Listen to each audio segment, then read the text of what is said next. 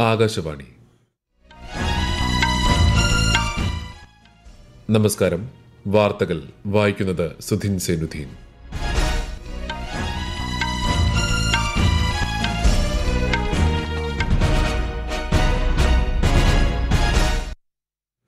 പ്രധാന വാർത്തകൾ.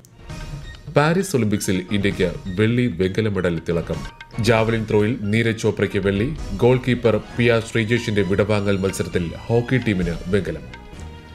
ത്രിരാഷ്ട്ര പര്യടനത്തിന്റെ ഭാഗമായി ന്യൂസിലൻഡിലെത്തിയ രാഷ്ട്രപതി ദ്രൗപതി മുർമു ഇന്ന് ഇന്ത്യൻ സമൂഹവുമായി സംവദിക്കും.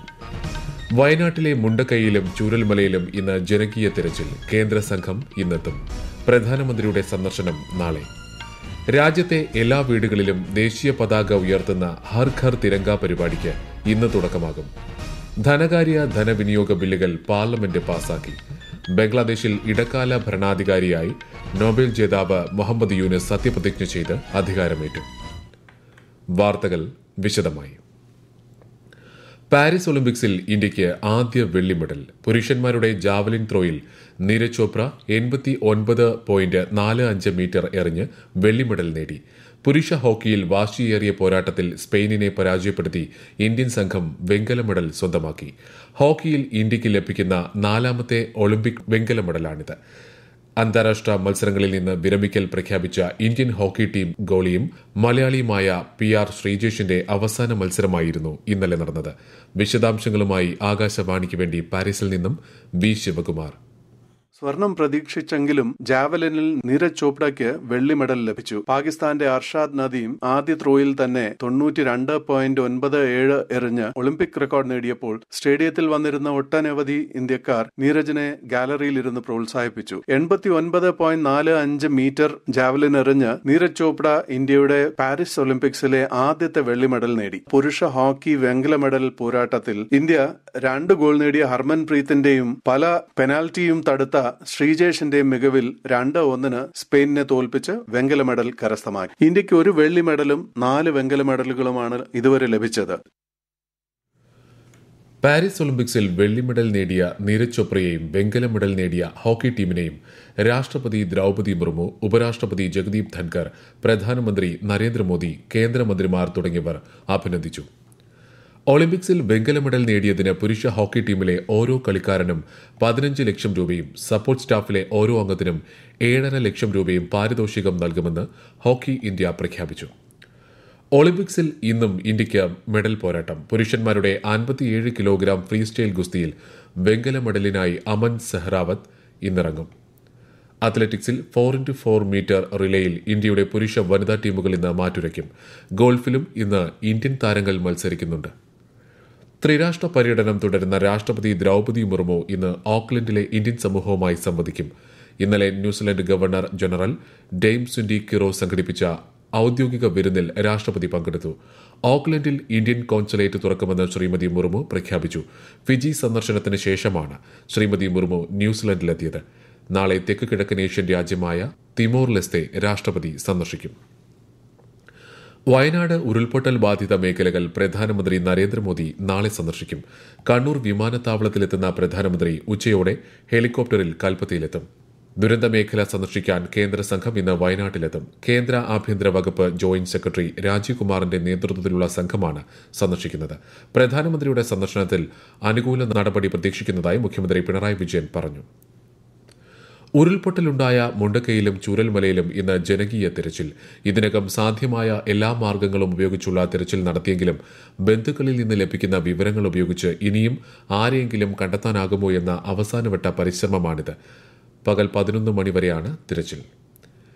മുണ്ടക്കൈ ഉരുൾപൊട്ടലിന്റെ പശ്ചാത്തലത്തിൽ ഓണാഘോഷ പരിപാടികളും ചാമ്പ്യൻസ് ബോട്ട് ലീഗും സംസ്ഥാന സർക്കാർ ഒഴിവാക്കി. പൌരരിൽ ദേശസ്നേഹം വളർത്തുന്നതിനായുള്ള ഹർ ഘർ തിരങ്ക പരിപാടിക്ക് രാജ്യത്ത് ഇന്ന് തുടക്കമാകും.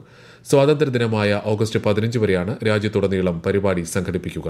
ഇതിന്റെ ഭാഗമായി വീടുകളിൽ ദേശീയ പതാക ഉയർത്തി തിരങ്കയ്ക്കൊപ്പം സെൽഫി എടുത്ത് ഹർ ഘർ തിരങ്ക വെബ്സൈറ്റിൽ പോസ്റ്റ് ചെയ്യാൻ കേന്ദ്രമന്ത്രി ഗജേന്ദ്ര സിംഗ് ഷെഖാവത്ത് ജനങ്ങളോട് അഭ്യർത്ഥിച്ചു. ഈ വാർത്തകൾ ആകാശവാണിയിൽ നിന്ന്. ബംഗ്ലാദേശിന്റെ ഇടക്കാല ഭരണാധികാരിയായി നൊബേൽ ജേതാവ് മുഹമ്മദ് യൂനുസ് ഇന്നലെ സത്യപ്രതിജ്ഞ ചെയ്തു. പ്രസിഡന്റ് മുഹമ്മദ് ഷഹാബുദ്ദീൻ അദ്ദേഹത്തിന് സത്യവാചകം ചൊല്ലിക്കൊടുത്തു. മുഖ്യ ഉപദേശകൻ എന്നതാണ് യൂനുസിന്റെ പദവി. തെരഞ്ഞെടുപ്പ് നടത്തി പുതിയ സർക്കാരിനെ അധികാരത്തിലെത്തിക്കുക എന്നതാണ് ഇടക്കാല സർക്കാരിന്റെ ചുമതല. ബംഗ്ലാദേശിന്റെ ഇടക്കാല ഭരണാധികാരിയായി അധികാരമേറ്റ മുഹമ്മദ് യൂനുസിന് പ്രധാനമന്ത്രി നരേന്ദ്രമോദി ആശംസ അറിയിച്ചു ബംഗ്ലാദേശിലെ ന്യൂനപക്ഷങ്ങളുടെ സുരക്ഷ ഉറപ്പാക്കപ്പെടുമെന്നും സ്ഥിതിഗതികൾ എത്രയും വേഗം സാധാരണ നിലയിലാകുമെന്നും പ്രതീക്ഷിക്കുന്നതായി പ്രധാനമന്ത്രി സമൂഹമാധ്യമത്തിൽ കുറിച്ചു. ധനകാര്യ ധനവിനിയോഗ ബില്ലുകൾ പാർലമെന്റ് പാസാക്കി. രാജ്യസഭയിൽ ചർച്ചയ്ക്ക് ശേഷം ഇന്നലെ ബില്ലുകൾ പാസാക്കി. ഇരു ബില്ലുകളും ലോക്സഭ നേരത്തെ പാസാക്കിയിരുന്നു. കോവിഡിന് ശേഷം മൂലധന ചെലവിൽ കേന്ദ്ര സർക്കാർ പ്രത്യേക ശ്രദ്ധയാണ് നൽകുന്നതെന്ന് കേന്ദ്ര ധനമന്ത്രി നിർമ്മല സീതാരാമൻ രാജ്യസഭയിൽ ചർച്ചയ്ക്ക് മറുപടി നൽകി. വഖഫ് ഭേദഗതി ബിൽ രണ്ടായിരത്തി ഇരുപത്തിനാല് സൂക്ഷ്മ പരിശോധനയ്ക്കായി സംയുക്ത പാർലമെന്ററി സമിതിക്ക് വിട്ടു. നിയമനിർമ്മാണത്തിൽ കൂടുതൽ പരിശോധനയ്ക്ക് സർക്കാർ തയ്യാറാണെന്ന് ബിൽ ഇന്നലെ ലോക്സഭയിൽ അവതരിപ്പിച്ച കേന്ദ്ര ന്യൂനപക്ഷകാര്യമന്ത്രി കിരൺ റിജിജു വ്യക്തമാക്കി. മൂന്ന് ദിവസത്തെ ഔദ്യോഗിക സന്ദർശനത്തിനായി വിദേശകാര്യമന്ത്രി എസ് ജയശങ്കർ ഇന്ന് മാലദ്വീപ്സിലെത്തും. ഇരു രാജ്യങ്ങളും തമ്മിലുള്ള ഉഭയകക്ഷി ബന്ധം കൂടുതൽ മെച്ചപ്പെടുത്തുന്നതിനുള്ള പുതിയ അവസരങ്ങൾ കണ്ടെത്താനാണ് സന്ദർശനം. ഈ വർഷം ജൂണിൽ ഇന്ത്യയിൽ പുതിയ മന്ത്രിസഭയുടെ സത്യപ്രതിജ്ഞാ ചടങ്ങിൽ മാലദ്വീപ്സ് പ്രസിഡന്റ് മുഹമ്മദ് മൊയ്സു പങ്കെടുത്തിരുന്നു. ഐക്യരാഷ്ട്രസഭയുടെ നേതൃത്വത്തിൽ ആചരിക്കുന്ന തദ്ദേശീയ ജനതയുടെ അന്തർദേശീയ ദിന പരിപാടികളുടെ സംസ്ഥാനതല ഉദ്ഘാടനം ഇന്ന് തിരുവനന്തപുരത്തെ പെരിങ്ങമലയിൽ നടക്കും. ആലമ്മൂട് കമ്മ്യൂണിറ്റി സ്റ്റഡി സെന്ററിൽ മന്ത്രി ഒ ആർ കേളു ഉദ്ഘാടനം നിർവഹിക്കും. നിയമസഭാ തെരഞ്ഞെടുപ്പ് ഒരുക്കങ്ങൾക്ക് മേൽനോട്ടം വഹിക്കുന്നതിനായി മുഖ്യ തെരഞ്ഞെടുപ്പ് കമ്മീഷണർ രാജീവ് കുമാറിന്റെ നേതൃത്വത്തിലുള്ള സംഘത്തിന്റെ ദ്വിദിന ജമ്മുകശ്മീർ സന്ദർശനം പുരോഗമിക്കുന്നു. അംഗീകൃത രാഷ്ട്രീയ പാർട്ടികളുടെ പ്രതിനിധികൾ ഉൾപ്പെടെയുള്ളവരുമായി കമ്മീഷൻ ചർച്ച നടത്തി. ഇന്ന് ജമ്മുകശ്മീർ ചീഫ് സെക്രട്ടറി ഡിജിപി എന്നിവരുമായി കൂടിക്കാഴ്ച നടത്തും. സംസ്ഥാനത്ത് നാളെ മുതൽ വീണ്ടും ശക്തമായ മഴയ്ക്ക് സാധ്യതയെന്ന് കാലാവസ്ഥാ വകുപ്പ് നാളെ ഇടുക്കി പാലക്കാട് മലപ്പുറം ജില്ലകളിൽ ശക്തമായ മഴയ്ക്കുള്ള മഞ്ഞ ജാഗ്രത പ്രഖ്യാപിച്ചു. കേരളം കർണാടക ലക്ഷദ്വീപ് തീരങ്ങളിൽ മീൻപിടുത്തത്തിന് തടസ്സമില്ല. കണ്ണൂർ കാസർഗോഡ് തീരങ്ങളിൽ ഉയർന്ന തിരമാലയ്ക്കും കള്ളക്കടൽ പ്രതിഭാസത്തിനും സാധ്യതയുള്ളതിനാൽ ജാഗ്രത പാലിക്കണം. കേന്ദ്ര കാലാവസ്ഥാ വകുപ്പിന്റെ ആഴ്ച തിരിച്ചുള്ള പ്രവചന പ്രകാരം ഈ മാസം പതിനഞ്ച് വരെ കേരളത്തിൽ സാധാരണയേക്കാൾ കുറവ് മഴയ്ക്കാണ് സാധ്യത.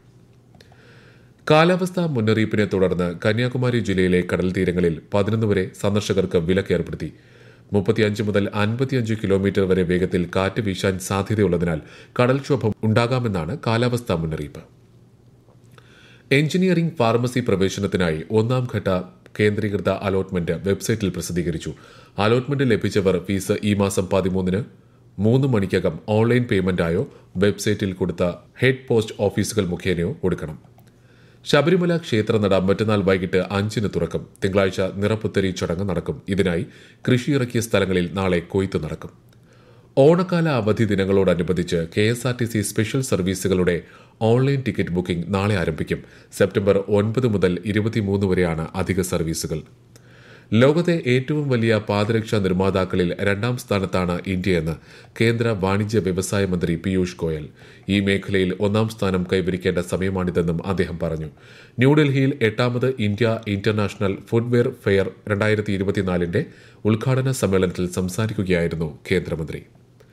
പ്രധാനമന്ത്രിയുടെ ആശയവിനിമയ പരിപാടിയായ മൻ കി ബാത് പരമ്പരയോടനുബന്ധിച്ച് നെഹ്റു യുവകേന്ദ്ര ഗ്ലോബൽ കീവേഴ്സ് ഫൌണ്ടേഷനുമായി സഹകരിച്ച് സംഘടിപ്പിച്ച ക്വിസ് മത്സര വിജയികൾ ഇന്ന് ന്യൂഡൽഹിയിലേക്ക് യാത്ര തിരിക്കും ഡൽഹിയിലെയും സമീപത്തെയും ചരിത്ര പ്രാധാന്യമുള്ള സ്ഥലങ്ങൾ സന്ദർശിക്കാനും കേന്ദ്രമന്ത്രിമാരുമായി സംവദിക്കാനുമുള്ള സൌകര്യം ഇവർക്ക് ലഭിക്കും. പ്രധാന വാർത്തകൾ വീണ്ടും.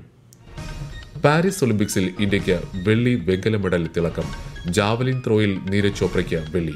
ഗോൾ കീപ്പർ പി ആർ ശ്രീജേഷിന്റെ വിടവാങ്ങൽ മത്സരത്തിൽ ഹോക്കി ടീമിന് വെങ്കലം.